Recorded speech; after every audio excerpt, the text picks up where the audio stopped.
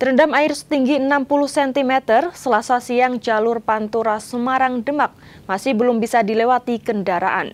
Selain banjir merendam jalan Pantura Kaligawe Semarang, banjir juga masih menggenangi pelataran Rumah Sakit Islam Sultan Agung Semarang.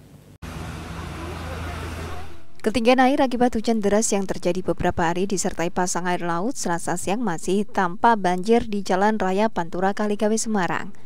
Jalur Pantura arah ke Demak tersebut hingga kini belum bisa dilewati kendaraan kecil dan banjir juga masih mengenangi pelataran Rumah Sakit Islam Sultan Agung Semarang.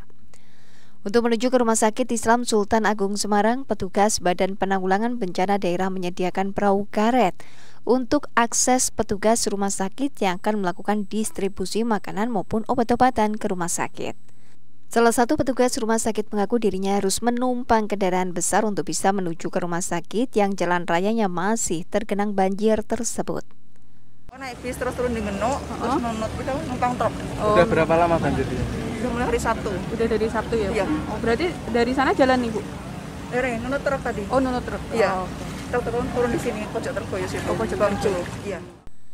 Sementara itu, Humas Rumah Sakit Sultan Agung Semarang berupaya melakukan pemindahan alat-alat yang berada di lantai satu yang terendam banjir.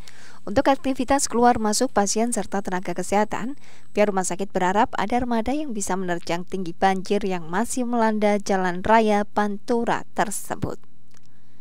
Alhamdulillah dengan banyaknya tim relawan yang support kami karena saat ini yang bermasalah di kami adalah masalah akses. Kalau pelayanan alhamdulillah semua bisa kita atasi. Jadi yang gedung yang memang saat ini terdampak banjir cukup arah kita alihkan semua ke gedung yang lain karena kebetulan kami terdiri dari beberapa gedung dan setiap gedung itu ada fasilitas yang sama sehingga cukup kita alihkan selesai. Yang persoalan sekarang adalah bagaimana kita mengakomodir pasien-pasien kami, nakes-nakes kami, dokter kami yang mau menuju ke rumah sakit. Banjir yang terjadi di Jalan Pantura Semarang Demak sudah terjadi sejak hari Sabtu lalu. Meski sudah sedikit surut, namun aktivitas rumah sakit, pabrik serta kampus yang ada di jalan tersebut masih terganggu. Pekerja yang bekerja di daerah ini harus diangkut dengan truk maupun perahu untuk menuju tempat mereka bekerja. Heri Widodo, Kompas TV, Semarang, Jawa Tengah.